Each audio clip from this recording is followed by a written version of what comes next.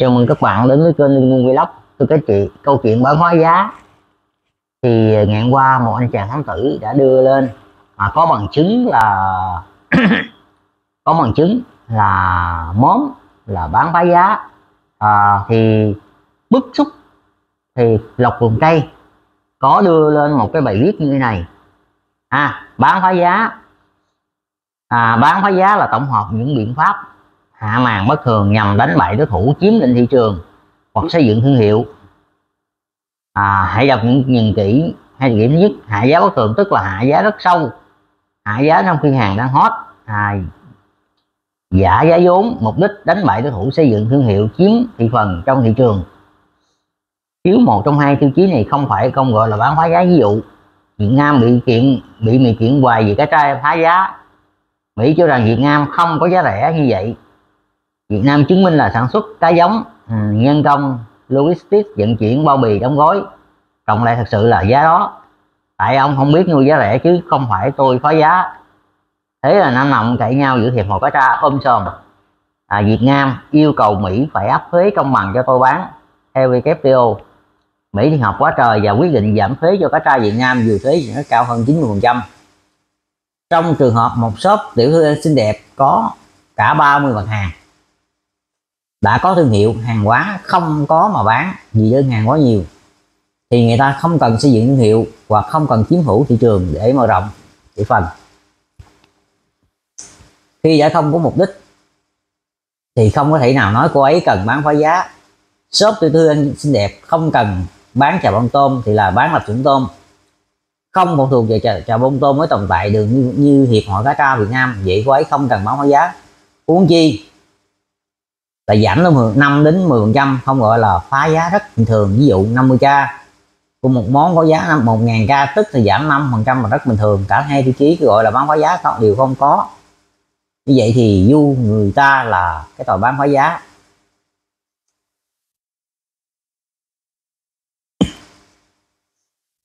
Thưa các anh chị, nhiều bình luận đã có nhiều bình luận đã nói như thế này. Nếu mình là chủ hàng mình sẽ bắt tay bắt mặt mình.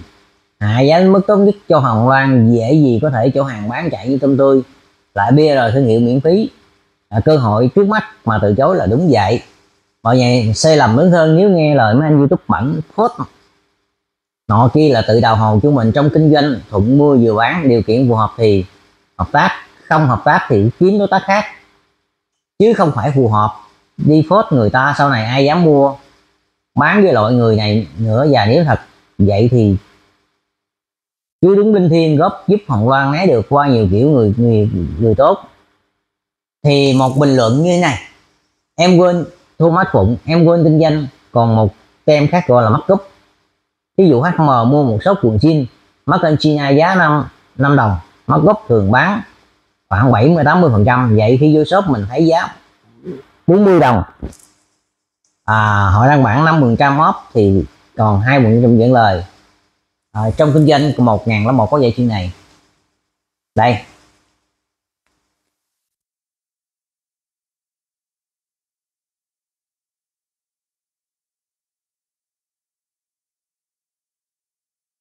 Quý vị.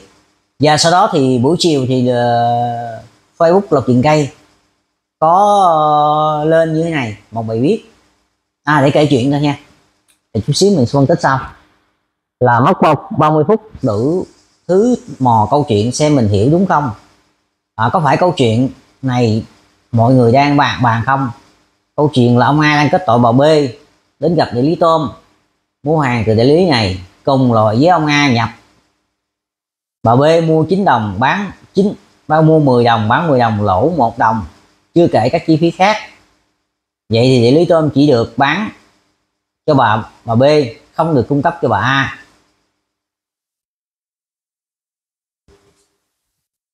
Kết luận bà B không điên nhé. Đúng là việc vì để đạt số lượng khiến đại lý tôm gật đầu độc bán độc quyền sẽ số lượng à, sẽ phải số lượng lớn. Số lượng lớn mà lỗ vốn nhân lên thì thiệt hại bao nhiêu bà B?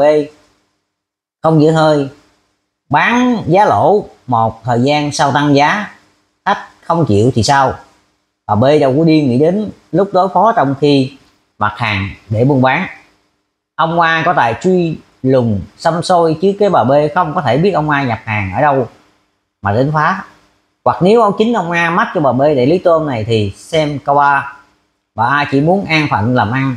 Đại lý tôm là người của ông A, chiến lửa bà B không giữ hơi mà chỉ chọc vào đại lý ôm được hại. Tóm lại bà B không có điên. À cái này diễn tưởng quý vị. Bà dừng thì không nghe chuyện diễn tưởng mai lại. Ông nga đừng hâm nữa nhìn đâu cũng kẻ kẻ thù. Đó.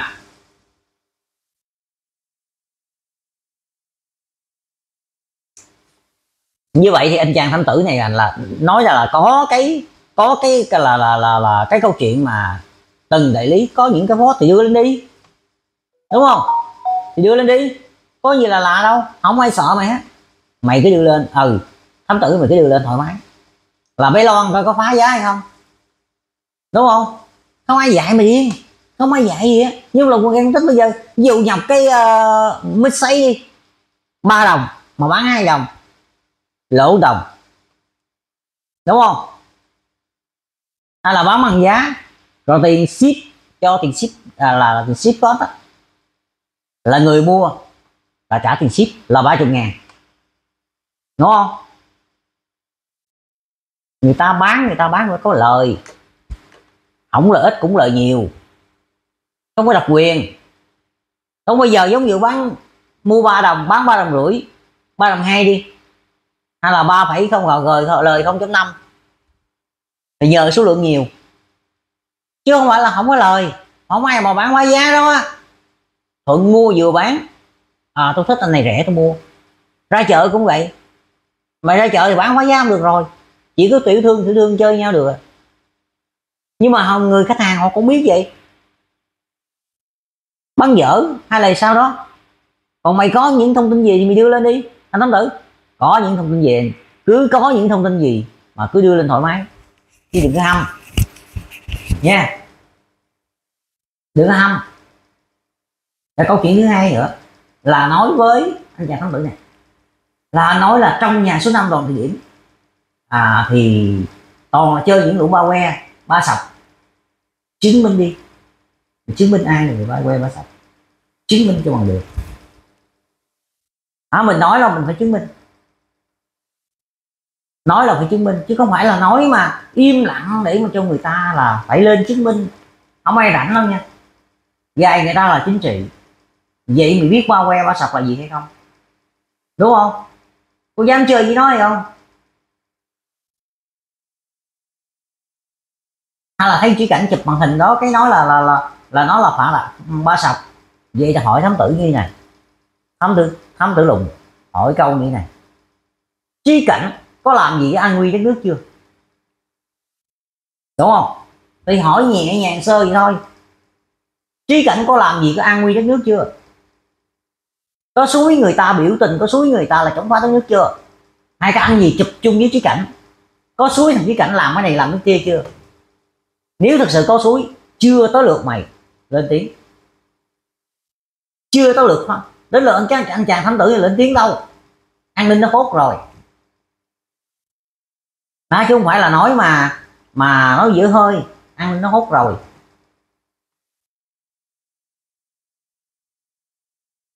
Đúng không? Còn biết căn nhà số 5 đòn thì điểm mà chơi với ba sọc.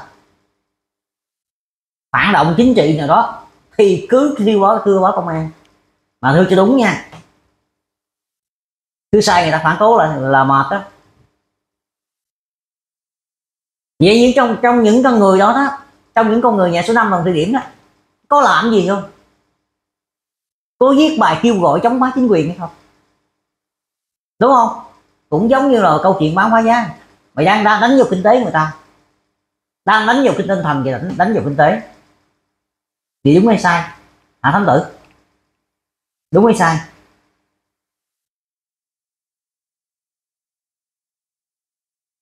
Vì hiểu mình làm youtube mà mình không hiểu gì chính trị không hiểu gì cái tư tưởng chính trị thì đừng nên làm đừng nên quy chụp người ta. Là người này là phản động người kia là phản động người này là ba sọc, người kia là ba sọc. Xin nói rằng những người dân trong nước không có chơi cái loại hạng người đó. Đúng chưa? Mà có chơi cũng không sao. Miễn là anh đừng à nó cho tiền, cứ lấy xài.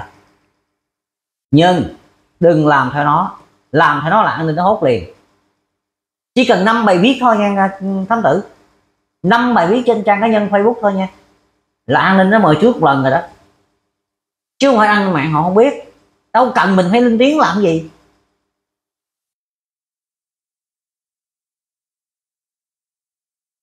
Cứ biết làm đơn tố cáo như Kini ngày qua nói.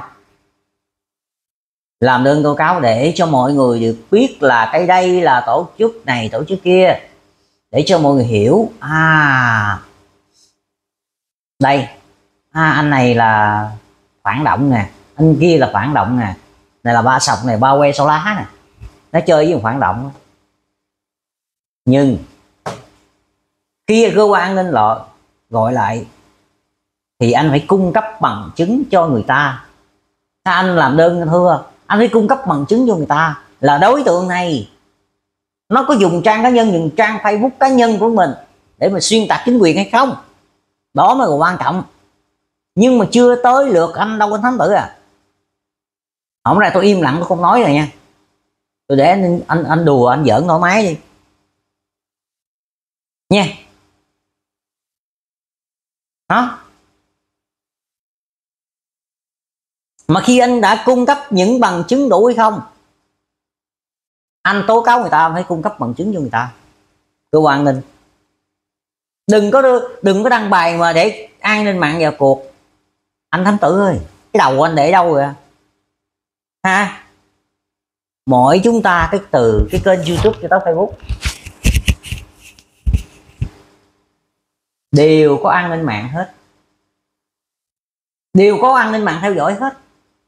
Chứ không phải là không có. Anh thử nói sai đây, thử đi. anh lên một clip nào và nói gì? Anh cứ chửi thôi chính quyền thoải mái đi. Anh kêu cái này abc này đó. Rồi anh thấy cái cảnh liền à. À, giống như những bài facebook mà giống như mà cái cái trang facebook mà nói về cái ông gì mà chủ tịch tập đoàn ngân hàng gì đó bị cấm xuất cảnh đó viết một bài thôi. Viết sai từ một bài thôi là bị mời rồi đó. Thấy không? Bị mời rồi đó. Rồi những đối tượng nào mà nào mà viết mà một bài, hai bài thôi lại bị mời đó cảnh cáo thôi, số bài, bảy triệu rưỡi. Tiếp tục vi phạm đi, thì thì ráng chịu nó không anh thông tử anh quy chụp hồng loan bán phá giá. Hồng loan nó đâu có khùng. Tự nhiên bây giờ nó không vốn không có. Mà mà nó bán phá giá làm gì? Thấy không? Có lợi ích hơn ta thì nói. Nhờ số lượng nhiều, cũng vậy à. Đúng không? Đó. Tôi nói như vậy đó thì tám thử có nghe thì làm ơn. Mở cái nào lại dùm đi lâu lắm rồi tôi không nói gì chính trị. Sáng lại tôi livestream tôi nói nhưng mà không không khỏi cần đi.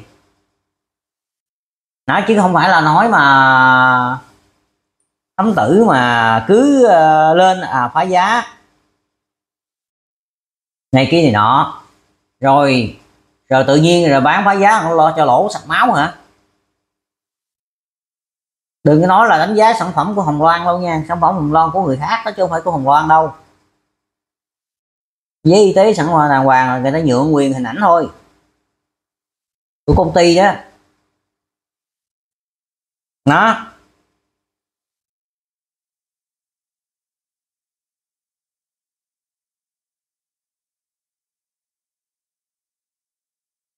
Tâm chia sẻ cả nhà.